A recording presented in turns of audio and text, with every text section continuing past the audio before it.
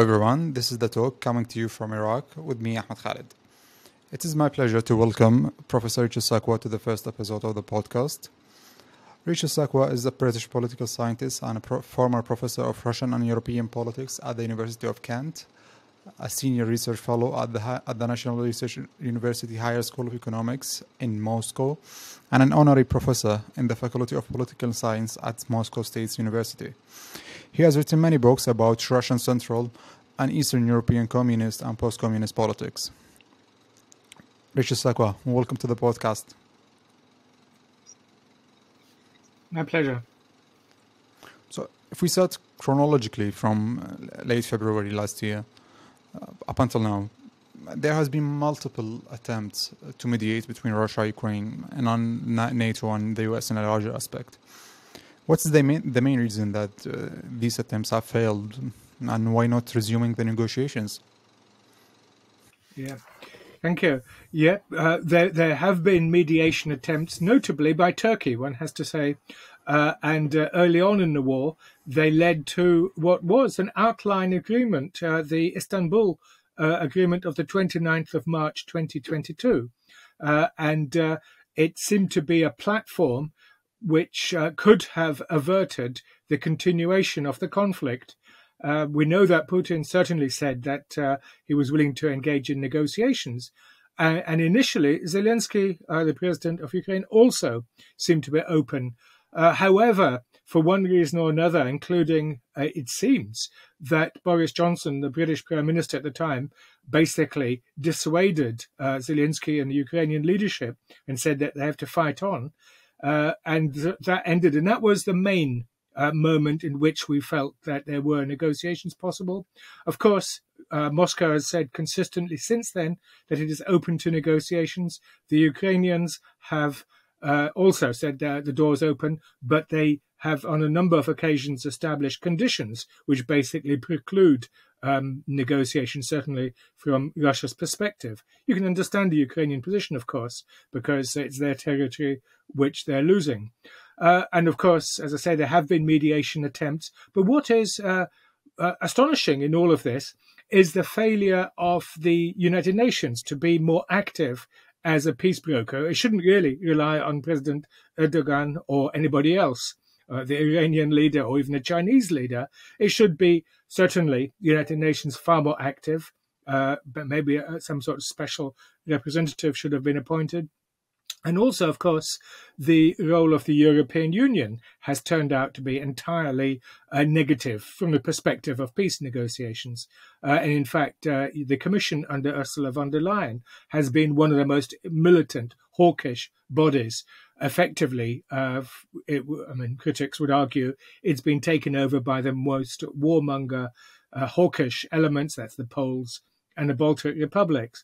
So, in terms of the perspective for negotiations, it seems absolutely minimal at the moment. Various attempts to put forward the idea that there have to be negotiations, for example, Elon Musk, who uh, made his famous intervention nearly a month ago, uh, and more recently, Henry Kissinger, a classic realist, who basically says, look, um, it's very unlikely that the maximalist demands by of Ukraine, certainly to take back the Donbass, uh, and Crimea is unlikely, and that there simply has to be a ceasefire. I mean, I would possibly phrase it not even a ceasefire, an armistice, uh, just to stop the fighting and the killing. Unfortunately, this is unlikely to happen, and there's much speculation. Uh, certainly uh, amongst American military experts, that Russia is preparing a major offensive, possibly in the winter, possibly in the spring after the thaw uh, and of course um, mobilizing the 300,000 reservists, uh, half of whom have been deployed already to uh, Ukraine, does bolster the forces. Of course, this is why we saw a famous uh, uh, a big article just a few days ago by Condoleezza Rice and Robert Gates, who said time is not on Ukraine's side and that's why they're rushing in more armament. As we know today, the United Kingdom is talking about sending Challenger tanks to Ukraine.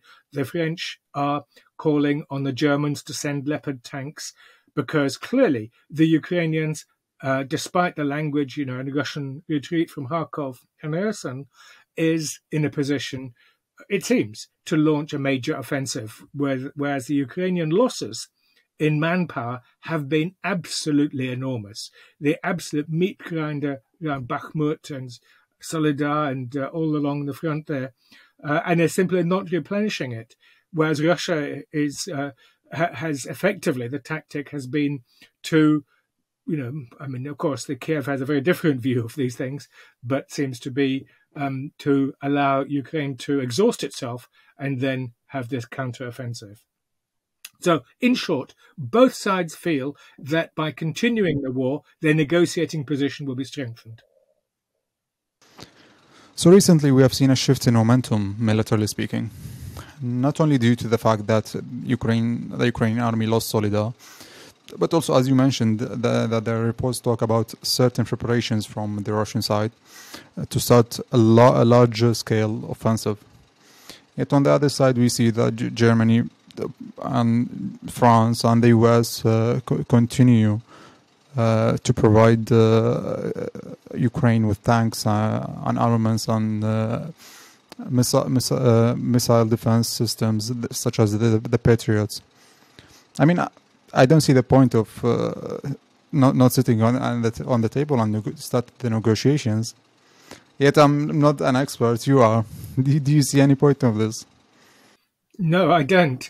Uh, I mean, I think that the first thing we should think about is the appalling loss of life, uh, which for, for little gain, because at the moment it seems that every small town in the in the Donbass is uh, is an equivalent to the Kievian Stalingrad, not to give up an inch. And as we know in Stalingrad, how, the von Paulus's German Sixth Army was basically hundreds of thousands of uh, German soldiers were captured and killed. Uh, and it seems that every little town is a Stalingrad because obviously, if the Ukrainians were seen to be losing momentum on the military front, then the pressure for them to come to the negotiating table will intensify. And this is something that the Kiev regime uh, doesn't want to accept because it will mean effectively the loss of territory. And that's, you know, I can understand it. But, uh, you know, there's a reality of war, and the reality of war, it, it means accepting uh, the facts on the ground. Yeah, so again, the problem here is that many commentators, especially in the Western media, Western mainstream media, I mean, still say that uh, this is the war of Putin and so on and so forth.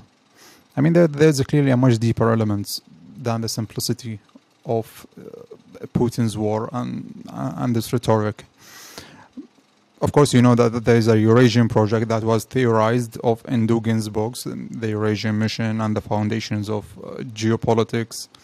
And many reports say that, that even Putin is a moderate among the, the, the rest of the bureaucrats, among the Russian ruling elite. What is your take on this notion? Absolutely. This has been one of the key issues for the last decade or so, uh, that they've personalized what is a rather more substantive structural issue. Because don't forget, it was Gorbachev and then Yeltsin and Putin. All of them have opposed, well, NATO enlargement, of course, is a symbolic uh, element. I mean, it's practical, but it's also symbolic because what it actually uh, is symbolic of is the expansion of what I nowadays call the political West. Now, the political West, this is the European Union, this is NATO, uh, and indeed the full cultural, the full shebang, if you like, uh, of the political West. And the political West was established during the Cold War. Uh, it's a US led political uh, formation, including, of course, Japan and uh, allies in Asia. And, and, this political West, after the end of the Cold War, refused to uh, give a place to Russia in the post Cold War order other than as a, according certainly as Moscow perceives it, as a subaltern, as a subordinate, to become, in other words, like Japan or Germany after the war. But they lost the war, and Russia, of course, refused to believe it had lost the war. And of course, the sharp point of it all was and is, of course, NATO. But, you know, then, of course, Ukrainians would say, look, there was no perspective of Ukraine joining um, NATO anytime soon. And that was certainly the case. But this is why I use it rather more widely this notion of a political West, because, as we know, the United Kingdom and the United States was arming Ukraine to the teeth uh, before the war. That, uh, as far as Moscow was concerned, this was, uh, and Dugin says it, that the war was inevitable. And indeed, some of the former moderates are now saying that Russia was pushed into a corner. I'm thinking of Dmitry Trenin in particular, the former head of the Carnegie Moscow Center, uh, and others. I mean, maybe I'm slightly misrepresenting what he's saying, but effectively, he's saying that this is a war which was forced on Russia. So you're absolutely right. We shouldn't personalize it. And, and you know, in this, we have to accept that Putin has been the moderate. He accepted that he made a mistake in not launching this war in 2014, in going along with the Minsk Accords, which, as we know, both Angela Merkel and Francois Hollande have accepted was just to buy time. I mean, they may be saying it just to save themselves because they're being attacked as having been duped by Putin in all those years. And they're saying we were never duped. We were just playing for time, which makes them look like very wise statesmen when, uh, but it also reveals bad faith because they were telling Putin, uh, implement Minsk, the Minsk Accords on autonomy for the Donbass, when all the time if what they're saying is now true, they never really meant it, which makes Moscow even more angry. And that, of course, is why um, support for Putin has gone up since the beginning of the war, astonishingly. It's close to 80% uh, opinion polls show. This is Levada polls uh, and so on, which is absolutely astonishing high level of support. I mean, I, you know, there is no enthusiasm for the war in Russia, yet there is a certain grim determination that this is a war that you know, unfortunately must be fought. So, uh, as you say, so Putin in all of this is the moderate. I mean, it's quite factually moderate because we have Prigozhin at the head of the Wagner group and uh, Dugin and Kadyrov uh, from Chechnya all calling for much, much tougher military action. Yes, you mentioned Kadyrov. I mean, I've heard I've heard this, this speech after the, the loss of West uh, Kherson that he suggested to, to drop an uh, tactical nuclear weapons on uh, Western Kherson after the the withdrawal of, of uh, the Russian army, which is astonishing to hear and uh, put us on the brink of uh, a nuclear exchange. But you mentioned that uh, you see European as a political entity, a political system and ideology. Do you see that there's an, an ideological element in, in, in this conflict between Russia and and the and NATO? Just like the, the old days between the communists and the capitalists, uh, like the Soviet Union and the US and the rest. Is there an, an ideological element in here? Yeah, there is an ideological element, uh, not in the old-fashioned Marxist-Leninist vision of ideology, but and it's not even the old the Biden line that this is democracy versus authoritarianism, autocracy. What it is, though, is uh, a battle between two visions of world order. Uh, the political West uh, believes that its values and its uh, a model of society, which you know I, I, I think there's plenty of good in that model, but uh, the view well, Moscow and many others, of course, increasingly, one has to say, the Turkish leadership and Iran and China and many, many others in the global south argue that, you know, however fine the political West may be, we don't want first to be subordinate to uh, the United States and its arbitrary and extraordinarily militarized form of international politics. You know, the, the defense budget, $800 billion with possibly 300 billion on top of that for the security services. I mean, this is just uh, so out of scale and also the manner in which it conducts politics, which is always uh, manipulating, dividing, generating conflict. I mean, this is the criticism, uh, generating conflict. Uh, Whereas on the other side, this model of world order, so you have on the, the political West advancing this notion of, uh, you know, of democratic internationalism, that all states must, um, you know, that the advance of the political West geopolitically is couched in the language of the advance of democracy. That's ideological for a start. And once you start entering this ideological framework, you can't do diplomacy. And the same applies on the western, on the eastern side. We have the emergence now, uh, just the beginning, of a political East. Uh, Russia is the spear tip of this. China is standing firmly with Russia, not with arms, but diplomatically, uh, and um, perhaps you know buying oil and energy economically. Of course, uh, trying to avoid um, being entrapped in US led sanctions, wisely and sensibly so. But nevertheless, the emergence of a political East is the major turning point of our century.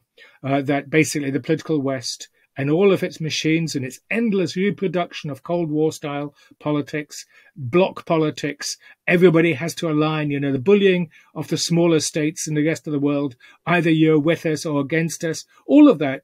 Other states say, no, we hold to the principle of sovereign internationalism, the internationalism expressed by the United Nations, the Charter International System established in 1945. We don't want to play your games again. We've achieved, you know, independence, anti-post-colonial world, uh, and you know, near you in the north, that's Russia and the United States and France and Germany. Again, you're at war. You guys can never overcome the logic of war.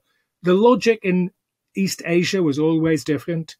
Sovereign internationalism, the Bandung Declaration, the idea of non-alignment, uh, uh, you know, which is an active, positive stance, non-alignment. We want peace. We want development. We don't want to get involved in your endless wars in the north of European civil wars.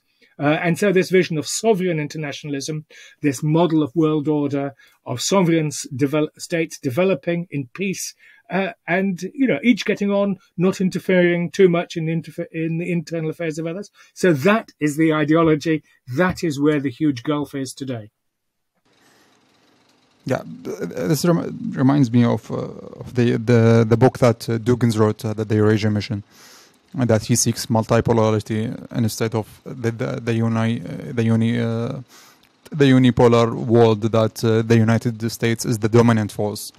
Uh, do you see there's a, this is also a refusal from the West, the, the, NATO, the US in particular, to a multipolar world like China, Russia, and many maybe another countries that might might emerge and challenge uh, that uh, that hegemony.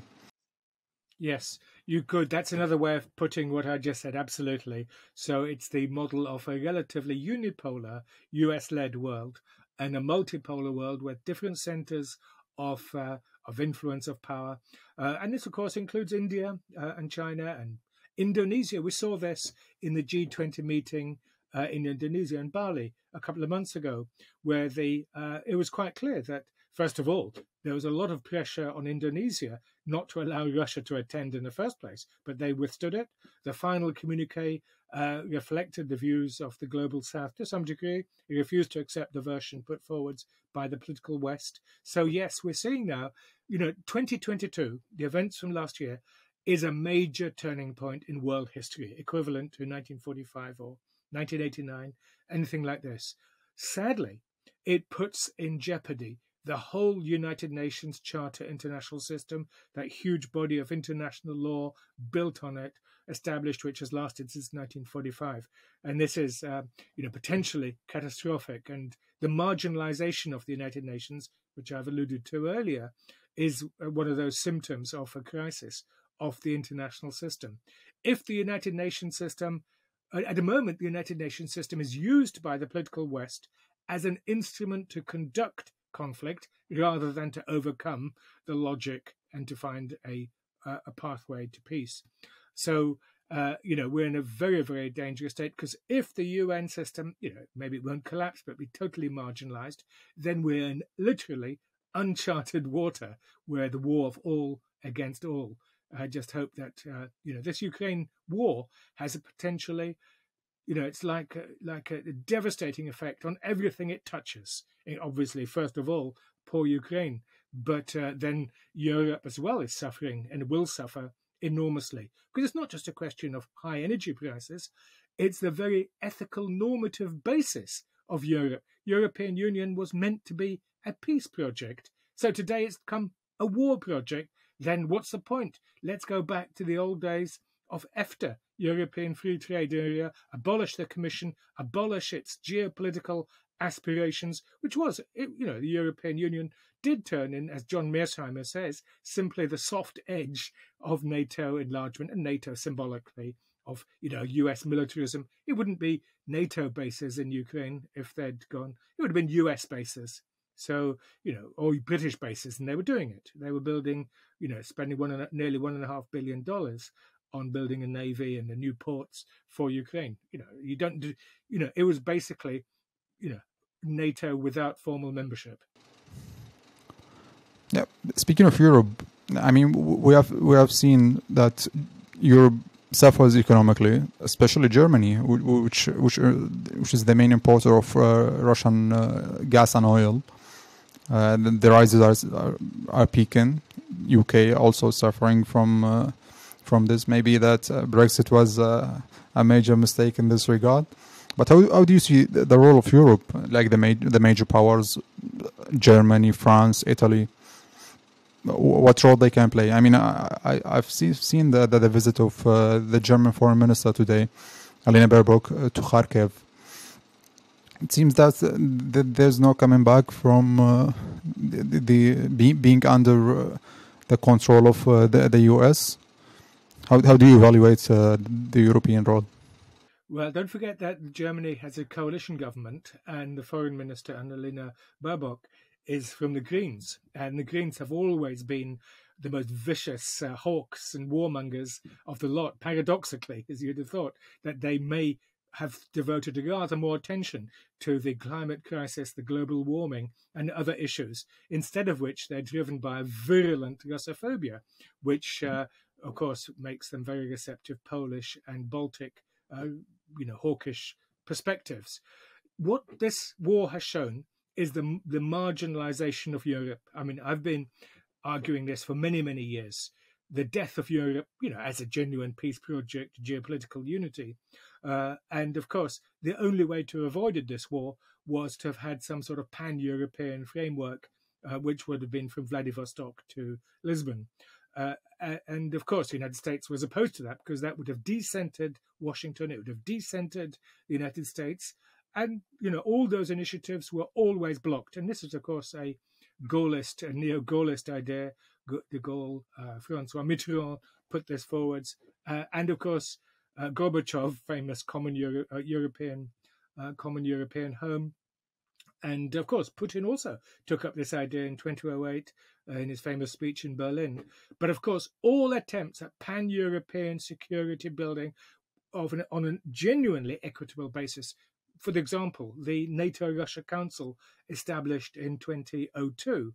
Uh, it was designed, intended to overcome the old 19 NATO members versus Russia, 19 plus one, and to make it, you know, 20 equally. But all Russian attempts to genuinely put on the agenda issues of pan-European security uh, were blocked by Washington explicitly. I mean, it's not, I'm just not making this up. Time after time, there's plenty of excellent studies which demonstrate this. Uh, and so, uh, of course, the pan European ideas died. That leaves a lump Western Europe, uh, which was, of course, always a subordinate to the United States. And what this has shown is even more tragic France and Germany, and Italy to a lesser degree, the serious, sensible countries, if you like, uh, in Europe, they, their diplomacy has been completely marginalized. I, you know, I very much commend and laud both uh, Olaf Scholz and uh, Macron, Emmanuel Macron, uh, in the weeks and months before the war to try to go to Moscow to negotiate, but they had nothing to say. They could say nothing because decisions were going to be taken in Washington. So this was the tragedy. These formerly great powers were shown to be utter marginal figures. And so this war as I say, it destroys everything it touches. And one of the things it's touched is the credibility of the European Union.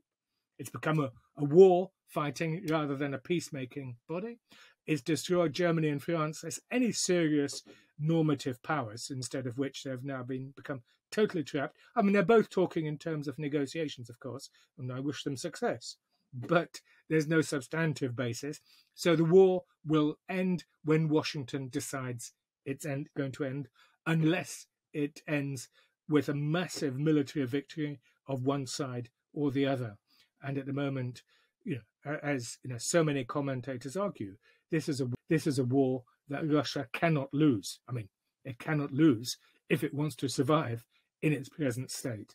Of course, it can lose. If it does, then we're into again uncharted waters. You know, already we have commentators like, like Alexander Motyl, this American professor, who is saying we should now get used to the idea of the collapse of Russia.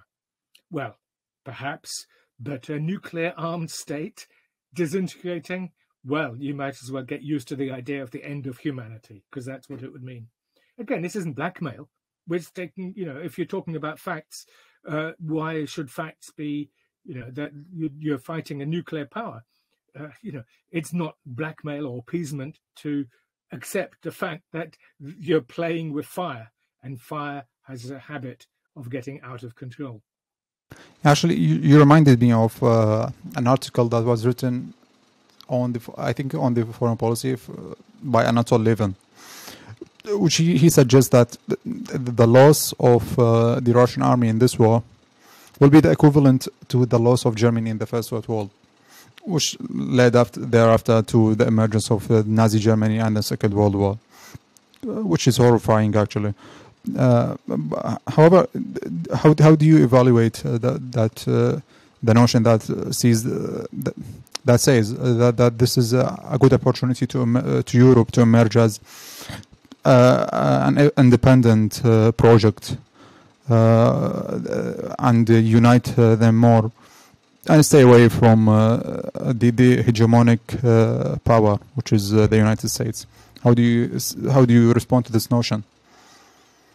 Yeah, at a super, superficial level, absolutely, of course, uh, it has. I mean, it's uh, that's indisputable that Europe has lost its subjectivity, and it's now been folded into a US-led political West even more than before that in the past it had a certain degree of autonomy in this endless talk of strategic autonomy, of course.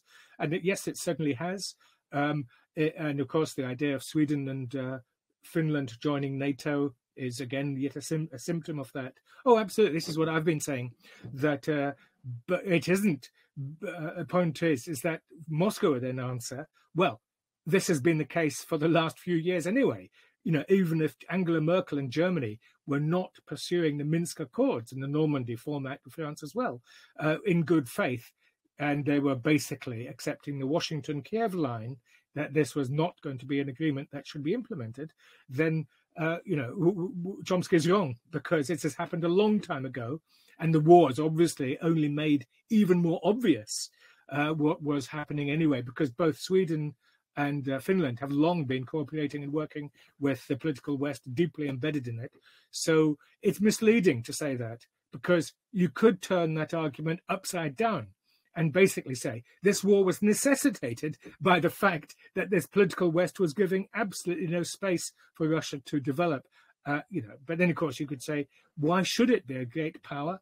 In what forms should this great power be uh, accepted? And if it if Russia's definition of it as a great power means subordinating its neighbors to itself and recreating an empire, then that's quite obviously unacceptable, including to me. But I don't think that was what was going on. Uh, what was going on, as you suggested, the advance of the political West, all the way to the, including possibly Georgia and Ukraine, uh, would be surrounding Russia. So any general, anybody sitting in Moscow, I mean, the argument has been made often if uh, you know if Russia wanted to build bases in Mexico or Venezuela, as we saw with Cuba in 1962. Uh, you know the United States didn't take kindly to it. And you know, also say if uh, China wanted, or the Shanghai Cooperation Organization wanted to build a base in uh, in Ireland, I think that very quickly you'd find that this London's debates about freedom of choice uh, would be forgotten, and the geostrategic concerns would come to the top. Again, this is not an argument to say that neighboring states should be subordinate to a big neighbor. But what it what it is an argument for is the one I've been making for you know many decades is that right from the start there should have been a more inclusive and genuine and more concerned listening to Russia's geopolitical concerns because as you suggested Putin is one of the more moderate he was of course at the beginning wanting to, you know, and Yeltsin did, saying, look, we've got this security dilemma. Let us join NATO. That would solve it immediately. But of course, that would have decentered Washington. Um, so, um, yeah, so, so clearly the West is consolidated, but this is a temporary phenomenon. First of all, there will be divisions coming up soon, but more than that, going on to our next block, but you know, more than that, we're seeing now this emergence of a political East, more consolidated, also more been alarmed and warned by this, you know, the unprecedented sanctions against Russia in this war by the political West.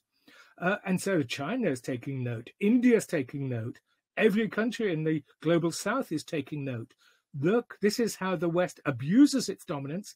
This is the way the the United States uses its dollar diplomacy or do, or dollar club to uh, you know to beat everybody else into submission, as they would see it. So uh, absolutely, you have a counter movement. So what we're seeing is the ultimate strategic collapse, catastrophe of the political West. What it's managed to do is unite most of the world against it. So, of course, then people say, well, look at United Nations votes. Well, of course, that uh, they quite rightly condemned uh, elements uh, such like is not the votes, it's what they're doing and what they're saying. No one likes to be forced to choose, but clearly the political West has discredited itself again. How on earth could they have turned Russia, which was looking for a peaceful order, uh, into such an enemy? They made this enemy. Vladimir Pozner makes this argument, so many others. This is makes this war so senseless and genuinely stupid because it was easily avoidable. And so we should be very careful not to repeat the arguments of the extreme ultra nationalists which dominate in Kiev. And, you know, again, the rest of the world is watching. How on earth this major political West, the United States, being no more a cat's paw uh, in the hands of the extreme ultra nationalists in Kiev? I mean, the agenda in Kiev is not the same as that of the political West. Uh, I mean, its concerns, its issues, the political West Washington should be, you know, have much larger concerns. But at the moment, its foreign policy seems to have been hijacked by extreme nationalists in Kiev. And there cannot be anything more dangerous than that. And their goal is to destroy Russia. It's been the goal for the last 200 years.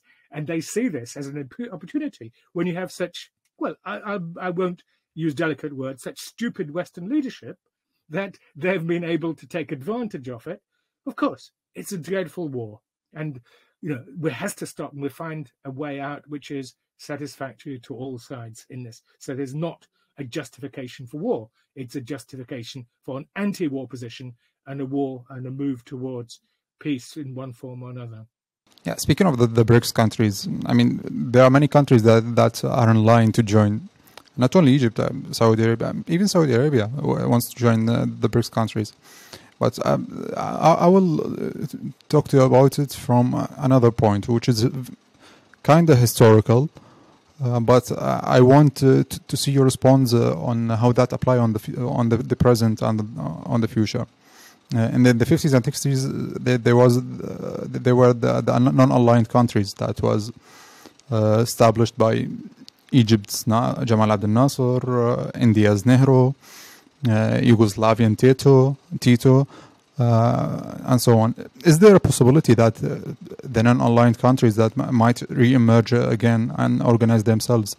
Because it seems obviously that, that the world the world is uh, is heading toward uh, superpower politics uh, ascending again, and it, it, will be split between two, two, two or three major powers.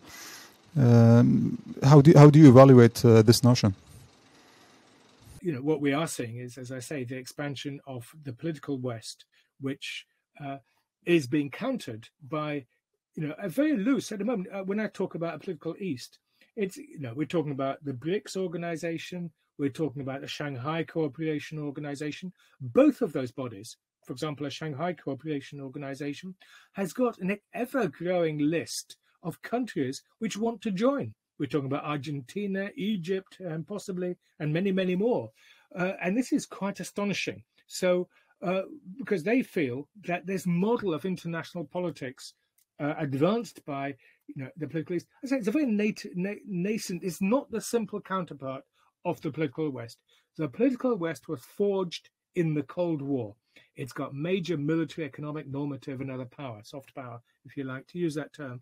The political East is precisely working in a different way. So it's trying to overcome the logic of Cold War, not to perpetuate it simply by conducting another Cold War, by establishing itself as the analog of the political West. As for the rest of the world, the political West is a very dangerous and unstable body because worse than that, they can all look and see inside the political West. And what do you see? You see globalization's advantages and benefits, which are obviously huge in all sorts of ways, have gone to a very, very narrow layer. Where they also look at the United States and see a an out of control military industrial complex I mean, this whole war in Ukraine, of course, you could argue, is simply to ensure that Lockheed Martin, that Raytheon, Boeing Corporation, etc., etc., uh, their, their military wings will have these juicy uh, contracts. And we see this now. Almost no oversight, nearly 100 billion, obviously much of this towards civilian purposes, but, you know, a military budgets, you know, ballooning out of control with minimal, minimal oversight this is not a model. United States, with you know how much, uh, well, nearly two trillion dollars in debt. so uh, you know, one point seven trillion. It goes on and on the list, and of course the massive inequality, the access to healthcare. You know, the proportion of our populations living in poverty, but we've got the money to fight a war, an unnecessary, stupid, and avoidable war. Well, I I think that you'll see. We've seen some demonstrations in Berlin and in Italy over the last few weeks against the war, well, this will increase. Probably not so much in the Anglo-American heartlands because they the media so dominantly pro-war and very few alternative voices condemning the war and the stupidity and the the way that this can only end badly. I mean, the long every side both sides think that the longer the war goes on, the better their position there is no good position at the end. The destruction of Russia, which, you know, obviously the hyper nationalists in Kiev want to see at the hands, you know, using the West as a cudgel uh, to beat and destroy Russia. Well, is that going to make the world a better place? 144 million Russians uh, immiserated and destroyed, they're living? No, you know, this again is not justification for the start of the war, but that we are where we are. And I think that it takes us we should take a sober, sensible view of analysing where we are today, which is what I hope we're doing in this discussion with you today. Uh, my final question will be about uh, the, resol- the, resolving of uh, the, this uh, conflict and this uh, war that potentially could, le- could lead to a, a, major war between uh, superpowers, militarily superpowers. Uh, how, how do you see the, the path uh, to resolve uh, the, this uh, problem? Um, Professor Jeffrey Sachs, for example, suggested that, uh, Professor Jeffrey Sachs of Columbia University, suggested that we follow the path of JFK in, in the Cuban Missile Crisis, that we have to activate diplomacy, not peace treaties. Uh, how do you evaluate that? But on a footnote, this war definitely reflected on the Arab world, but unfortunately, sadly, it came with a notion, if we can say, of accepting authoritarianism and the undermining of human rights and democratic governance. This is a footnote that uh, this that wars uh, only brings uh, only brings uh, difficult options. Uh, I mean, I, would love to hear your response about diplomacy or peace treaties. I very much agree with that. It is diplomacy. Can I go back before returning to this? Go back to your earlier point about, um, you know, the, many people who consider the political West, you know, as hypocritical and and pursuing double standards. Uh, of course, that is the case. Um, but uh, can I stress that this rejection of the political West, in my view, should be accompanied, and I say this vis-a-vis Russia as well, that it should be accompanied by a reaffirmation not of the principles of so-called liberal international order, but of the United Nations. And that those principles, if you're a member of the United Nations, now 193 states, then those principles are not American principles, not British principles, not Western principles, but universal principles, which we all can fight for, for human dignity, for development, for peace, and for the dignity of all in a society. And you know, for, for it's very important that this includes uh, women's rights and minority rights and children's rights uh, and and everything else because these these are you know for people to live in dignity but also for people to live in dignity requires social changes to ensure more equality more control over the military industrial the, the hawks which are dominating in washington and london that we can actually move to a society which is more just and that way we can fulfill the aspirations of the Charter International System. At the end of that devastating Second World War, where millions died, where societies were left devastated, the fact that the political West and Russia have led the world once again into a situation where this devastation is wreaking now, unfortunately, in Ukraine, but in the Middle East, across many countries there. Uh, as well, Yemen, for example, is a conflict which is, you know, when you look at the Yemen, it's so catastrophic. And, you know, this, the American, Anglo American support for Saudi Arabia's bombing and killing and sanctions and boycott and embargoes campaign in Yemen is, you know, unutterably on a scale far worse than anything which has taken place in Ukraine so far. So when I walk around here and I see Ukrainian flags uh, on, you know, universities and public buildings, you know, we joke all the time, where's the Yemeni flag? Where is the Yemeni flag? Where is the Syrian flag? Where is the Iraqi flag? Where is so many other flags where there's conflicts and wars and uh, so on? So yeah, but so the rejection of Western hegemony does not mean the rejection of those universal principles, and that's what I think we should all fight for to say these are universal, and that each society has to work to fulfill it, so that everyone in your society, in our societies, can live in dignity and that requires, as I say, an end to war so that you can start building peace orders and building societies, you know, to rebuild cities and to make people live comfortably and normally. And where instead, unfortunately, we're heading more and more into a whole miasma of war. We talk about Ukraine. As you say, the Middle East, we're probably heading for another major war, given the nature of the Israeli government today. Uh, you know, this is intolerable you know, it's it's it's intolerable the way this is going, and we're just at the beginning of his new term in office uh, with his allies in office. So, um, yeah, I've forgotten the other part of the question, but certainly that for me is fundamentally important. Yeah, actually, my question was about diplomacy or peace treaties. However, I couldn't agree more actually with what you said. Uh, but my, my, question was in regard to uh, how do we resolve uh, the, this uh, conflict? do we uh, follow diplomacy like JFK and the Cuban Missile Crisis uh, or peace treaties? I, I, agree completely with him. Uh, I'd, I'd, go uh, perhaps even a little bit further.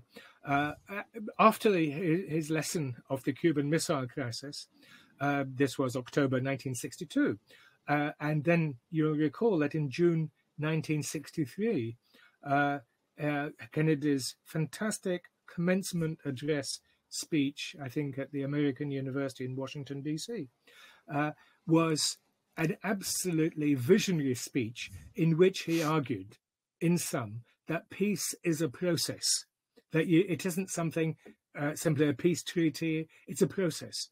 It's a beginning. You begin to talk, and then gradually, if you begin to listen, because the whole point of diplomacy is yeah, dealing with difference, dealing with people you don't agree with. You can't, and there's not much point doing much diplomacy with countries with you, you know, there's no divisions. And of course, that also means, you know, I, I've been talking, you know, at the very basis of all of this, this notion which I've been developing elsewhere is the notion of political dialogism, which only political dialogism is a process in which both sides change. And that is the tragedy after the end of the Cold War in 1989 is that basically the political West was insisting that one side changes Russia, Ukraine, and all the post Soviet and other states. Uh, of course, they can change, and we want to see them more closely aligned with the UN Charter. But at the same time, the West, political West, also needed to change in giving space for the countries like Russia to develop. And they were not given space, they were not given time. That uh, you could say, of course, you blame Putin for his authoritarianism, for falsifying elections, and so much. And, you know, I condemn all of that, of course. Um, but you know, in, in some ways, these systems feed on each other, and you know, you end up to where we are today. So it, it has to be peace as a process. You begin negotiations, at least a some sort of enforceable ceasefire or a genuine. You know, as I said, I don't even think a ceasefire, just an armistice.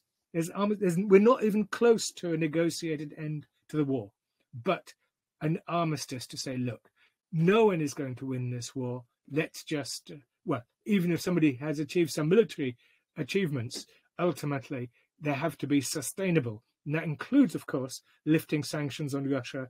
It has to be, you know, you have to give incentives. That's what diplomacy is all about. And the incentive for Ukraine is generous reconstruction funds, rebuilding the society, support uh, for all the damage which has been done.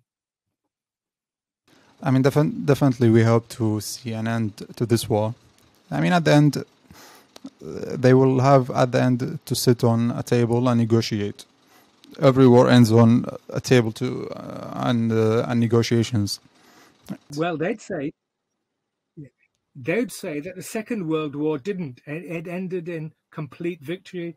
And don't forget, even the First World War, you had the armistice, and yet then the Western Allied, the Western Allied powers continued the blockade on Germany for nearly a year after the end of, of the armistice of November 1918.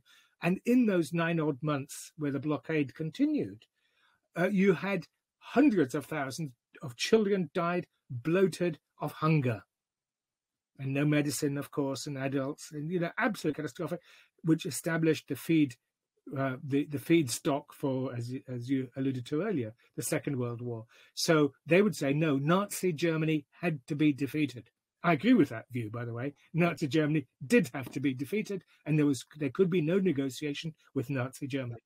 And whereas Russia is not the equivalent of Nazi Germany, uh, despite what Kiev, the ultra nationalists in Kiev, would argue. Yeah, great point. The Russians are not the Nazis. So uh, the negotiations uh, gate door is always open. Uh, Professor Sakwa, it has been an honor. Thank you so much, and hope to see you more. Thank you so much. It's my pleasure, and I wish you success in the future. Goodbye. Goodbye. Goodbye. Thank you.